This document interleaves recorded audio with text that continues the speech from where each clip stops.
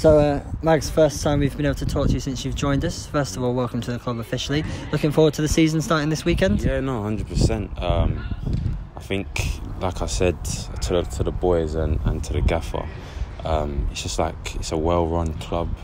Um, everyone's positive. All the lads are. They've been welcoming. They welcome me with open arms. The gaffer first day, obviously against Brentford, I just I didn't know any of them, but I felt like I was part of the team as soon as I walked in the change room. So that's that speaks volumes of how how the lads are here and how the club is and how the gaffer is and and um, ev- everyone else, just the staff, all you guys, um, been been class with me. So yeah, appreciate that a lot. Yeah, and uh, yeah, you were straight in on the deep end. You've been here about a week now, so so how have you found it? Yeah, no, it's been good. It's been good. I mean, um, the, co- the the sessions have been good. The coaching's been good. Um, so yeah, God willing, everything everything goes to plan against Wrexham. We want to go there and win. We want to go to Bromley and win. So hopefully, you can make that two out of two, um, and then and then start start uh, building momentum off of that. Obviously, yeah, it's going to be a, be a tough test on the weekend. Uh, Yeah. How much do you do you know about them and this this league coming Um, into it?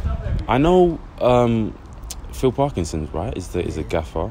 Um, I know he was the Sunderland manager beginning of last season. So that's and he's been he was at Bradford when my older brother was at Burton. They actually beat him.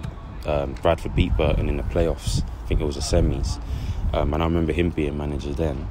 Um, and I know Paul Mullins obviously coming off of what 37 goals last season.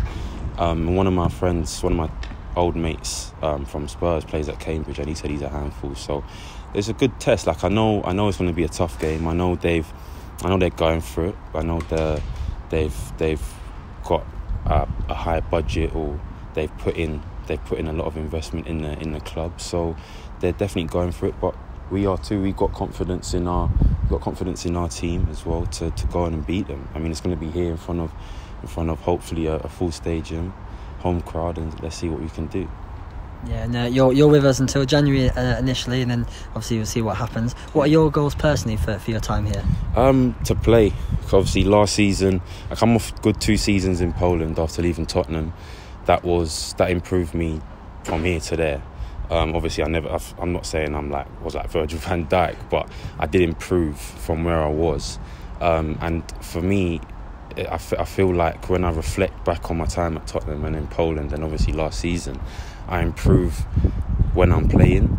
So I feel like um, I can't just train. Like I can't just train and not play. And I need them. I need games. I need rhythm.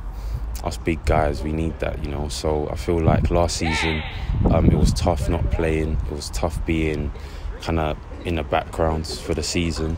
But this season, thank God, I've got this opportunity to go and to show, to again remind myself and also show show others what I can do. So that's that's my my main goal is just to play play well, help the team. Hopefully, we can achieve our targets. Perfect. Thank you very much. Yeah. Cheers. Thank you.